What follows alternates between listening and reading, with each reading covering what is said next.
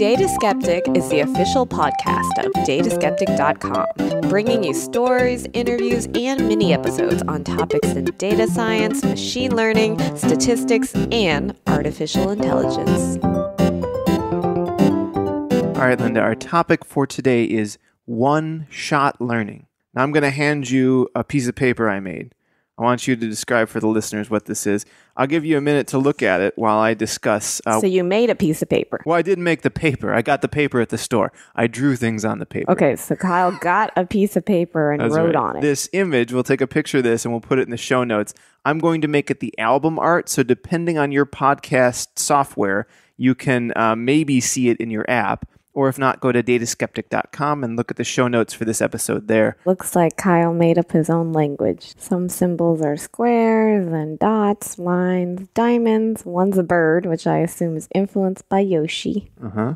Some are swirls. That's it. You pointed to one, you said one looks like a bird. Do you see that symbol repeated anywhere? Yes, the Yoshi symbol appears twice. Well, how do you know it's the same symbol? Are they precisely the same thing? No, they're not precisely the same thing, but I've watched enough series of Ghostwriter to know this is an encrypted message. That's Ghostwriter. I already told you about Ghostwriter. It's some show on PBS back in the, I assume it's the Oh, I think 90s. it was, they had like a magic pen or something. Yeah, there was some kind of like ghost that would try to reveal things to them and like show them things, and they'd try to crack codes. They would have like a letter, and they'd be like, "We have to figure out what it means," and they would talk through how they figure it out. I'm definitely down to watch this with you, by the way. I don't know if I want to see it again, but as a kid, it was great. The code is not so important as the symbols. Let's get back to you said there are two that are Yoshi. You know, they aren't precisely the same. Maybe they have different meanings. So there are 64 symbols on that page. You counted them, Yeah. but how many are distinct? Well, that's what I'm asking you know. Out of these 64 symbols, yeah, you tell me how many are distinct. Maybe you could talk through what I'm doing while I'm working. So Linhda is going through and it looks like she's annotating when she thinks a symbol is first used. And then she's looking back as she scans the 64 symbols to try and say, have I seen this one before or not? And then she's numbering the ones she considers unique. Looks like there are 19 distinct symbols here. Tell me a little bit about your process because I noticed that the second symbol there, that's kind of a diamond, you labeled that as a two. And then later on, there's another diamond shape and you labeled that as distinct. Well, what about this, this other diamond here? You Well, also that one's a fat one, so I think that one's different. Well, isn't this one a tall one? Well, I assume these two are the same and that you were just not consistent. Or maybe I was consistent. Maybe there's three styles of diamonds. There could be, but it's hard to say. What's kind of astounding here is that with only 64 examples, you were able to label 19 classes. For all the machine learning people listening, the idea that I could give someone 64 observations and they could identify 20 different classes, that's outrageous. You can't even identify a binary class very well with only 64 observations. It's too small of data for machine learning. What's a binary class? Binary class would be like true and false or 0 and 1. You can't identify it Well, with 64 examples? I mean, I guess it depends. Like, if it's very obvious what you're studying and the features well separate the data, then probably you could. But generally, you don't need machine learning. If in 64 examples the answer is so obvious, you probably solved it with a very just trivial rule based approach, So then what's that called? like rule based systems or expert systems or something like that. Is that a common way? It had been. That was the way of the 90s and, and earlier. Is that the way we think? Well, that's a good question. Let's get into what we think. We don't know exactly what we think. We know that a lot of artificial intelligence type algorithms, things like deep learning, are trying to do some of the same tasks that the human brain does. Doesn't mean they do them the same way, but that's where we want to go, right? The brain does some pretty impressive things. We would like our machines to do similar impressive things. I claim that this is a very impressive task, that with just only 64 examples, you were able to identify 20 different classes. Some of them didn't even repeat, right? Some of these are unique symbols. Well, that's the same with our letters. We got a B and a P. They're similar, but they've just been rotated, but we consider them different letters. Right. So you have some ability to really distinctly separate all these out. If I had given this to like a random forest algorithm, it, it couldn't even approach this problem. It couldn't identify these unique symbols. And even deep learning, which we know is very good at symbol identification, for example, the MNIST dataset. It's a data set of all these handwritten digits. it's very good at identifying, like, oh, that's a zero and that's a one, so on and so forth, despite the wide variety of ways human beings will write their digits. Even sloppy, sometimes it gets them right. And when you look at the ones that, you know, the cutting edge versions of, of digit recognition, when they make a mistake, the mistake is usually because it's a very ambiguous letter. It's like a, a seven that's a little crooked and could be considered a one, you know, something like that. If they have difficulty recognizing a, a number or a letter, can they mark that? Does it know its ability is difficult? Mm, there's nothing prohibiting you from doing that. Uh, that's certainly possible. Yeah, I guess if you could tie in a probability, so you would do the class label and a probability of correct, then you could report both of those. That would be an interesting thing to do. Because I mean, it's better to narrow it down so a human can then follow up and be like, "Oh, what what areas does it need help?" Well, ma- yes, in intrinsically you're right. Although for some tasks, and I think digit recognition is one of them, the computers now outperform human experts. The computers are better at knowing what the digit was. But it must be on not on all characteristics, on all factors.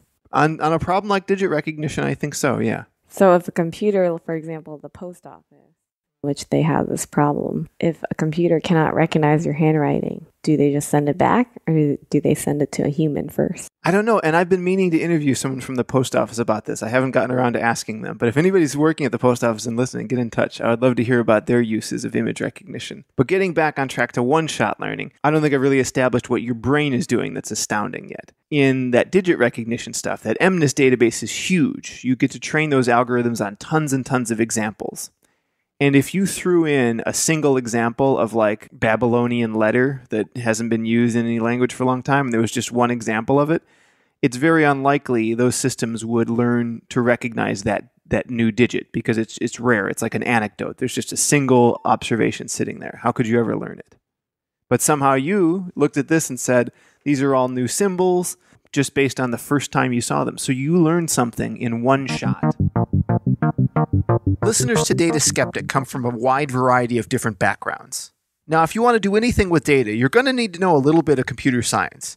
And if you weren't a computer science student and you need to fill in the gaps, I want to recommend a place I think will help you do that very easily Brilliant.org. Brilliant has a ton of great content, and their computer science section specifically is going to give you the foundations you need to master data structures and algorithms. If you're not already comfortable with stacks, queues, binary trees, and heaps, there's no time to waste. Those are the fundamentals, and you're going to need them. Brilliant is fun and instructive. When you finish up with the computer science part, if you choose to start there, you'll discover lots of other great areas like probability, logic, complex algebra, physics, and many more. Brilliant is a much more engaging way to learn than any textbook you're going to pick up. It teaches you in very bite sized chunks that fit a busy person's life very well, like myself, and it remembers exactly where you are. So it doesn't matter if you go back to it on your phone or your desktop, just log in, it knows all of your history, so you can pick right up learning where you stopped learning before. Check them out at brilliant.org slash data skeptic to see the many courses they offer and find the one that's right for you.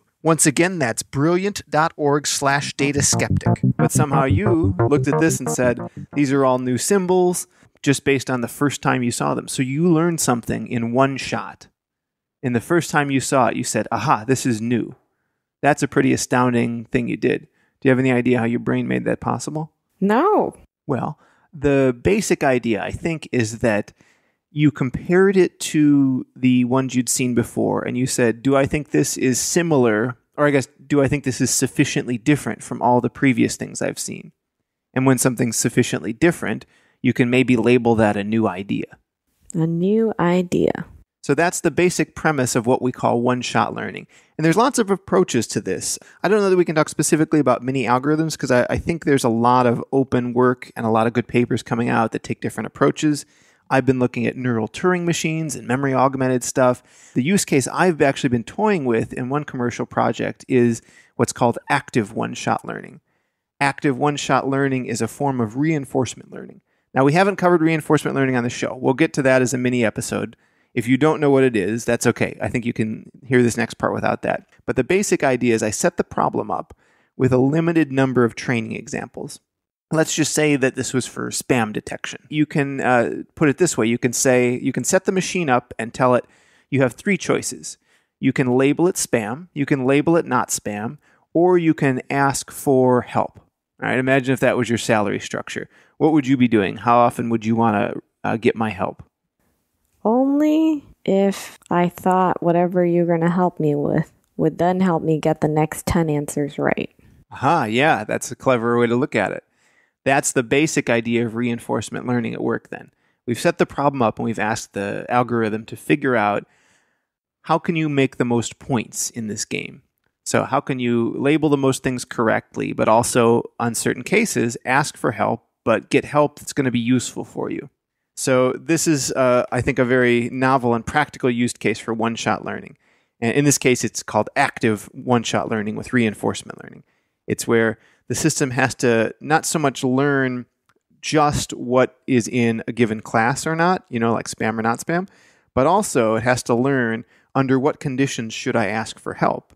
And hopefully it asks for help only when it's something like very unusual, it's never seen before.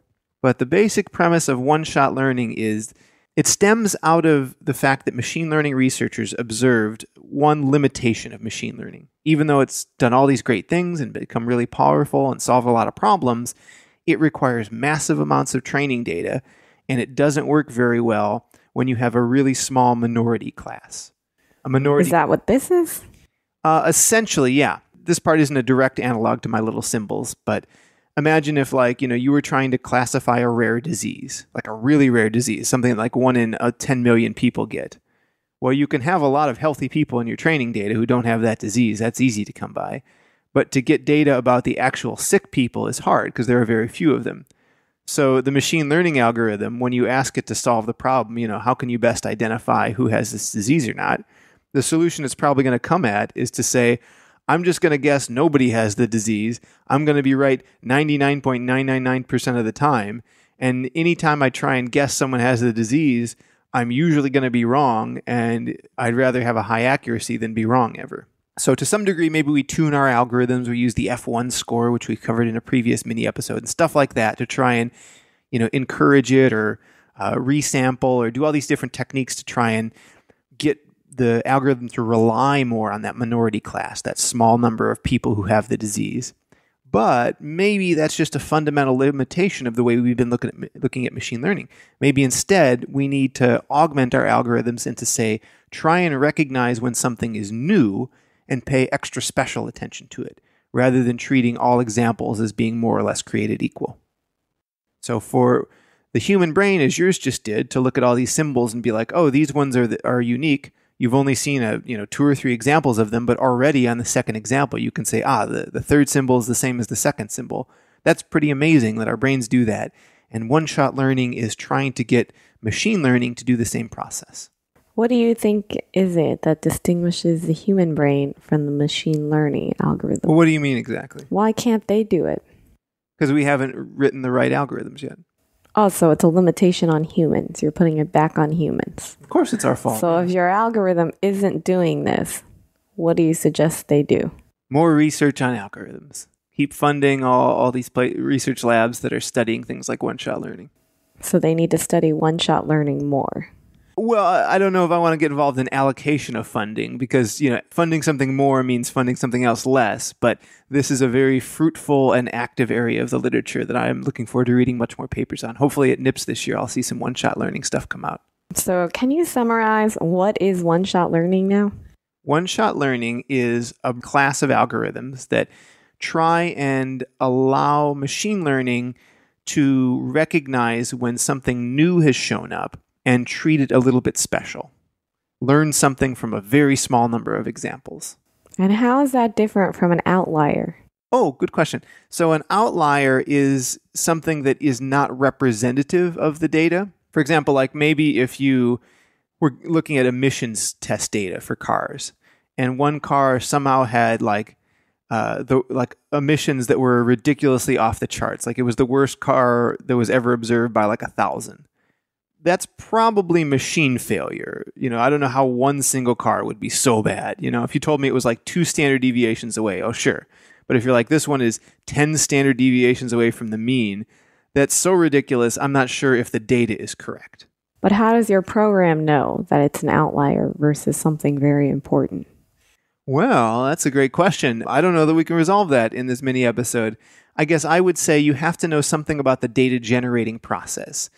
If it's machine telemetry data that you're looking at, and you know there's a bunch of sensors and stuff, sensors can break down. So if you know the rate at which sensors break down, you should also know the rate at which outliers will appear. So you're saying this is a human now? You expect the human to solve this?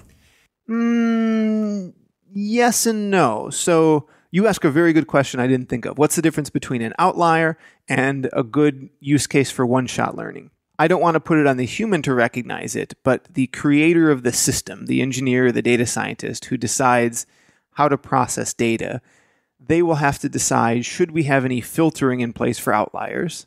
And they should put filtering in place if they can pretty deterministically find an actual legitimate outlier, like, oh, this is a machine failure, this data is not correct. But if the data is correct or seems to be correct, then it's like a case for one shot learning because you're like, this is just very unusual. What does this observation mean? And what can we learn from it? Rather than treating it like, oh, we'll just not learn from this one case because we can still get a high accuracy by ignoring it. We'll look at the more common use cases, recognizing that something is a little bit special and rare, and seeing if we can learn uniquely about that case. From what I heard, sounds like you're depending on the human. Well, I'm depending on the human to develop the techniques and methodologies to provide to the machine learning algorithms such that they can execute tasks like this. Yes. yes, but it's a human problem first. For now, yeah. Yeah. What, what are you driving at? I'm just saying. I was just asking whose responsibility is it to fix it? Is it the machines or is it the humans? And you just told me it's the humans. So, Well, that is your interpretation. This has gotten quite philosophical quite quickly. if you have an opinion on this, why don't you go to the comment section and tell us what you think? All right, Linhda. Well, thank you as always for joining me. We didn't get into the algorithmic sides of one shot learning. I may save that and do a follow up episode, primarily because I think there are a couple fruitful approaches, and I name dropped a few of those. But maybe we can go into deeper episodes in the future on things like active one shot learning and neural Turing machines. But the basic class of one shot learning is what I wanted to kind of cover today. So thanks as always for joining me, Linhda. thank you, Kyle. And until next time, please keep thinking skeptically of and with data. Good night. Good night. Data Skeptic is a listener supported program. To support the show, visit dataskeptic.com and click on the membership tab.